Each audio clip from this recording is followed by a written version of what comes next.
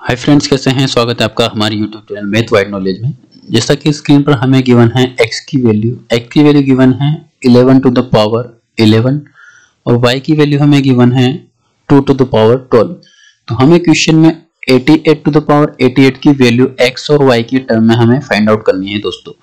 तो दोस्तों, यहाँ पर इसको सिंप्लीफाई करते हैं। 88 को हम क्या लिख सकते हैं दोस्तों? 88 को हम लिख सकते हैं 11 इंटू और उसकी पावर 88 ठीक है?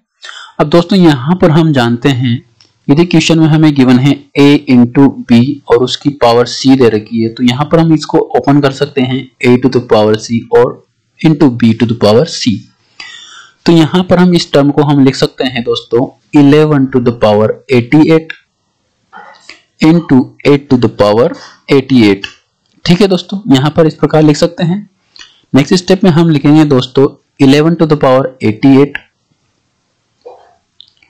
dot eight to the power eighty eight ठीक है दोस्तों?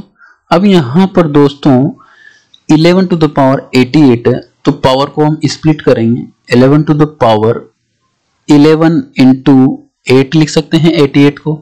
इंटू अब यहाँ पर 8 है तो 8 को क्या लिख सकते हैं? 2 टू द पावर 3 और 88 को क्या लिख सकते हैं यहाँ पर? 4 इंटू ट्वेंटी ठीक है? अब दोस्तों यहाँ पर हम जानते हैं कि पावर यदि P की है Q इंटू आर तो उसको लिख सकते हैं दोस्तों P to the power Q और ब्रैकेट क्लोज इंटू आर इस प्रकार हम इसको लिख सकते हैं। तो यहाँ पर 11 to the power 11 into eight इसको क्या लिख सकते हैं दोस्तों? इसको लिख सकते हैं 11 to the power 11 bracket close और power eight into two two two to power three और फोर को अंदर लेके आएँगे इंटू फोर रिमेनिंग क्या है? ट्वेंटी टू नेक्स्ट स्टेप में हम लिख सकते हैं दोस्तों eleven to the power eleven और उसकी power eight into two to the power three and four को क्या लिख सकते हैं दोस्तों?